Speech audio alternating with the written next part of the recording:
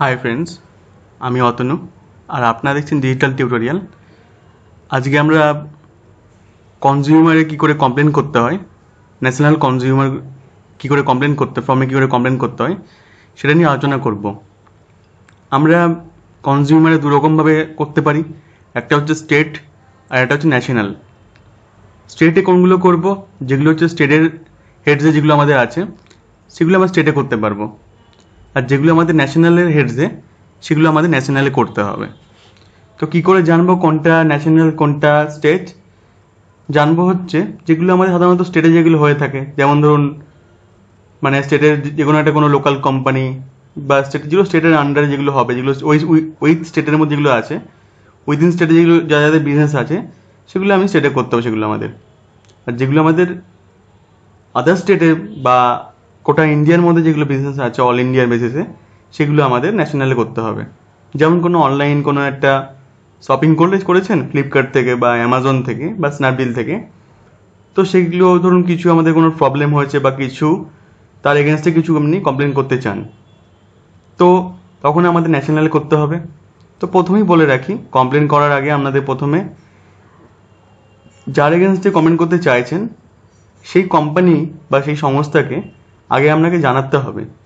যদি salt out যদি হয়ে যায়, তাহলে ঠিক আছে। আর যদি না হয়, তখন তাহলে আপনাকে কমপ্লেনটা করতে হবে। তো তার জন্য আপনাকে প্রথমে গুগল খুলে নিতে হবে। এটা আমরা দুরকমভাবে করা যায় একটা হচ্ছে আপনি এখানে লিখে করতে পারবেন ডকুমেন্ট সাবমিট করে। আর একটা করতে পারবেন কল করে। কল করে করার থেকে সাবমিট করাটাই বেটার আর আমি আপনাদের লিস্ট মানে ফর্মটা দিয়ে দেবো। মানে কী করে আপনি ফিল আপ করবেন, না করবেন, সেটা আমি ডিসক্রিপশনে দিয়ে দেবো। আর দেখুন, এখানে সার্চ করেছি আমি ন্যাশনাল কনজিউমার ফ্রম অনলাইন বলে সার্চ করেছি। দেখুন, আমার এখানে একটা নতুন, প্রথমে দেখুন এসছে রেজিস্টার কন কনজিউমার কমপ্লেন্ট কমপ্লেন তো প্রথমেই বলে রাখি যে, আমাকে প্রথমে রেজিস্টার করতে হবে। রেজিস্টার করার পরেই আমি এটা কমপ্লেনটাকে সাবমিট করতে পারব। প্রথমেই করব রেজিস্টার আমি প্রথমে করলাম click to register as a consumer মানে আমি প্রথমে রেজিস্টার করে নিলে কী হবে?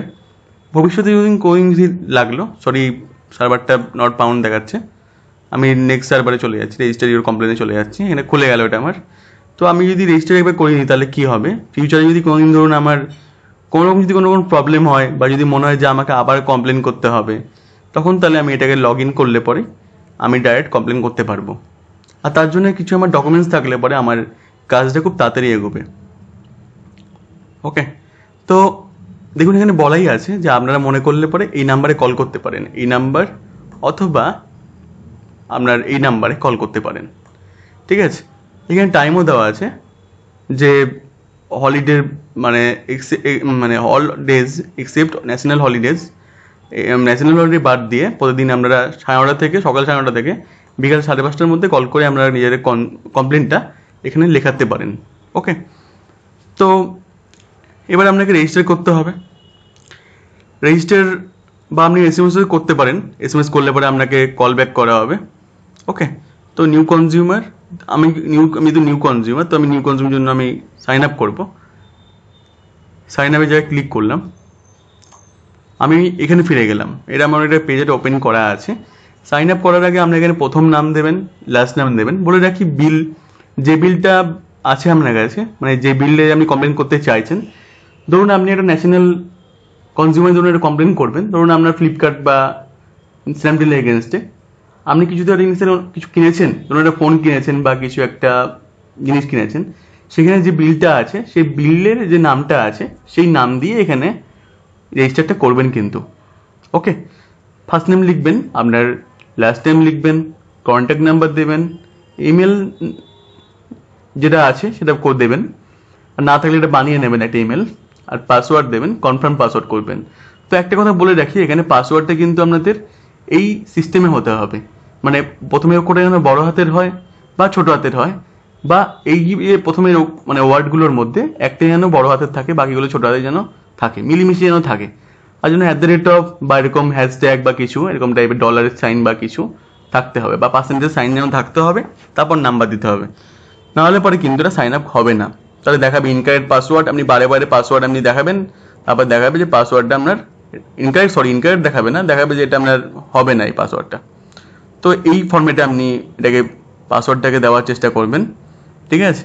তো দেওয়ার পর তারপরে আমি সাইন আপ করবেন, তারপরে আমার ইমেল আইডি চেক করবেন, যে ইমেলটা এখানে দেবেন, সেই মেলটা প্রথমে আমি চেক করে নেবেন। ইমেলে এমন একটা মানে একটা মেল আসবে, যেখানে আপনাকে ভেরিফিকেশন করতে বলবে। এখানে ক্লিক হেয়ার করবেন। ক্লিক হওয়ার করার পরে ভেরিফিকেশনটা হয়ে যাবে। ভেরিফিকেশনটা হওয়ার পর আপনার এটা দেখাবে। ইওর অ্যাকাউন্ট ইজ অ্যাক্টিভেট তারপরে সাইন ইন জায়গায় ক্লিক করবেন। সাইন ইন জায়গায় ক্লিক করলে পরে আপনার এইটার খুলে যাবে। এখানে আপনার কমপ্লেন এবার বলবেন কমপ্লেন কোয়ারি কমপ্লেন বা কোয়ারি আছে নাকি? যদি জিজ্ঞেস করার থাকে, তাহলে কোয়ারি করবেন। কমপ্লেন করার, তাহলে কমপ্লেন করবেন। কোয়ারি কখন করবেন? ধরুন একটা কোনো জিনিস আপনি সম্বন্ধে জানেন না, যেটা কমপ্লেন করা ঠিক হবে কি না হবে, তখন কোয়ারি করতে পারবেন। ঠিক আছে? তো কমপ্লেন করলেন। এবার ধরুন এখানে সিটি দিলেন এখানে। ধরুন আমি দিলাম কলকাতা। আমার যেহেতু কলকাতা, তাই আমি কলকাতা দিলাম। সরি কলকাতা।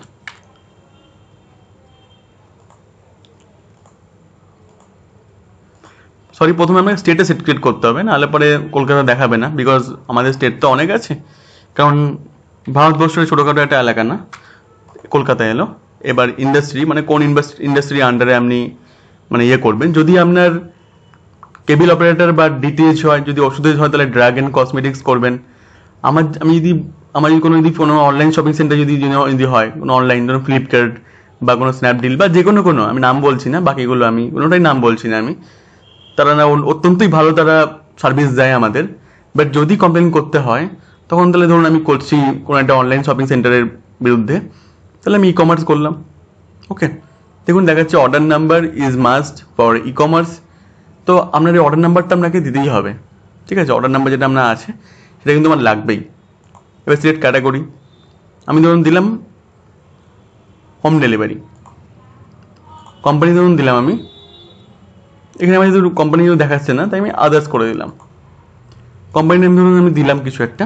এটা আমার এক্সিট করে না, তাও আমি কোনো কোম্পানির নেম আমি দিতে পারি না, যেহেতু কোনো রকম আমার কমপ্লেন নেই তাই। ঠিক আছে? আমি ধরুন পোলো দিয়ে দিলাম সরি সরি পোলো দিয়ে দিলাম বা পোলম দিয়ে দিলাম ওকে এটা ধরুন কোম্পানির নেম একটা। তো নিচেরও কমপ্লেন ধরুন দিলাম আমি। রং প্রমিসেস বা ডেলিভারি ডিফেক্টিভ প্রোডাক্ট ধরুন আমার ডেলিভারি যেটা দিয়েছি, সেখানে ধরুন আমার ডিফেক্ট আছে। ধরুন আমি বলেছিলাম ফোন বাট চলে এসছে, ধরুন আমার একটা ইট চলে এসছে। তো তখন আমরা এটা দেবেন। রং প্রমিস প্রমিস যদি রং করে, ধরুন যেটা বলেছিল সেটা ধরো আসেনি, তাহলে এটা হতে পারে। ধরুন আপনাকে বলেছিল ফোন বাট বলেছিল যে ফোনের এক বছরের ওয়ারেন্টি থাকবে বাট আমি দেখছেন বিলের মধ্যে যে সিক্স মান্থের ওয়ারেন্টি লেখা আছে। তখন লিখবেন আপনি এটা। Delivery of wrong product wrong product হয়, ধরুন ফোনের বদলে ধরুন আপনাকে একটা মানে কি বলব মানে অন্য কিছু ধরুন পাঠিয়ে দিয়েছে ফোনের বদলে, তখন রং প্রোডাক্ট হবে। নন ডেলিভারি অফ প্রোডাক্ট অনেক সময় দেখা যায় কি হয় আমাদের, যে নির্দিষ্ট ডেটে আমাদের বলে ডেলিভারি দেব, কোনো ধরনের একটা খুব সুন্দর প্রোডাক্ট যেটা আমাদের সবসময় পাওয়া যায় না, সেটা সবসময় আমাদের খুব কষ্ট করে, ঠিক টাইমে আমাদের ওয়েট করে, আমাকে করতে হয়। বাট তারপরে বলে যে ডেলিভারিটা আমরা করতে পারলাম না সরি তো তার জন্য এটা করতে হবে। ডিপেন্সি ইন সার্ভিস এটা করতে পারেন। তো আমি ধরুন দিলাম ডেলিভারি অফ ডিফেক্টিভ প্রোডাক্ট দিলাম এটা আমি। এবার হচ্ছে ভ্যালু দামটা কত? ধরুন দিলাম আমি দশ হাজার থেকে এক লাখের সরি এক হাজার থেকে দশ হাজারের মধ্যে। ধরুন আমার দাম হচ্ছে নশো ন হাজার নশো নিরানব্বই টাকা। তাহলে আমি এটা সিলেক্ট করলাম। এবার ডিলার নেম আমি প্রথমেই বলে রাখি ডিলার নেম অ্যাড্রেস কন্ট্রাক্ট এগুলো আপনি, আপনার বিলে পেয়ে যাবেন। যে বিলটা আপনার থাকবে, সেই বিলে কিন্তু সব কিছু পেয়ে যাবেন। এগুলো সেদিন লিখবেন কমপ্লেন ডিটেলসটা দেবেন, তারপরে ফটো দেবেন। এখানে ফটোগুলো প্রোডাক্টের যে ডকুমেন্টস যেগুলো আছে এখানে ধরুন আপনি দিলেন, বিল দিলেন। এখানে ধরুন আপনি যেটা রং প্রমিস করে সেটা দিলেন। প্রথমেটা দেবেন হচ্ছে অর্ডার ইয়েটা, যেটা আপনি অর্ডার করেছিলেন। ধরুন আমি করেছিলেন একটা ফোন অর্ডার করেছিলেন, সেটা প্রথমে স্ক্রিনশট তুলে এখানে দেবেন। ওকে তারপরে ধরুন আপনি এখানে দিলেন যে, যেটা আপনার বিলটা আছে সেই বিলটা ধরুন আপনি দিলেন। আর এখানে ধরুন আপনি দিলেন যে প্রোডাক্টের ছবিটা দিলেন ছবি তুলে দিলেন এখানে আপনি। তারপরে আমি সাবমিট করে দেবেন। সাবমিট করার পর আপনার এখানে একটা নাম্বার আসবে কমপ্লেন নাম্বার আসবে। আর এখানে পরে মনে করলে আমি কমপ্লেন হিস্ট্রি দেখে খুলে আমি দেখতে পারেন যে আপনার মানে প্রবলেমটা মানে এখন যে আপনার কি অবস্থায় আছে। মানে আপনার, যেটা আমি কমপ্লেন করেছেন সেটা আপনার কি অবস্থায় এখন মানে প্রসেসটা হয়েছে বা কি হয়নি দেখতে পারবেন। অথবা আপনি মনে করলে পরে এই নাম্বারে কল করেও আপনি যে নাম্বারটা আপনার, এখানে ওরা দিচ্ছে নাম্বারটা এই নাম্বারটাতে কল করেও আপনি, আপনার কমপ্লেন নাম্বারটা বলে আপনি আপনার সম্বন্ধে জিজ্ঞেস করতে পারেন যে আমার যে জিনিসটা আমি কমপ্লেন করেছিলাম, সেটা এখন কি পরিস্থিতিতে আছে। তো ওনারা আমাকে অবশ্যই হেল্প করবেন। এর আগেও আমি একটা মানে ফ্র্যাঙ্ক রোসের বিরুদ্ধে আমি একটা কমপ্লেন করেছিলাম। তো সেটার প্রমাণপত্র আমার কাছে সেইভাবে এখন এই মুহূর্তে নেই। তো থাকলে পরে আমি অবশ্যই পোস্ট করতাম। তো আমি খুঁজে দেখব যদি প্রমাণপত্র যদি থাকে, তাহলে আমি দেখানোর চেষ্টা করব যে কি করে, কি করতে হয়, না করতে হয় আরও ডিটেলস পাবে। তো আশা করছি ভিডিওটা আপনার খুবই ভালো লেগেছে। আর সাবস্ক্রাইব করতে ভুলবেন না। আমি ছোটোখাটো একটা ইউটিউবার চেষ্টা করছি আপনাদের যাতে খুব ভালোভাবে হেল্প করতে পারি এবং আপনারাও যদি চেষ্টা করবেন একটুখানি, যাতে আমাকেও একটু হেল্প করতে পারেন। Thank you so much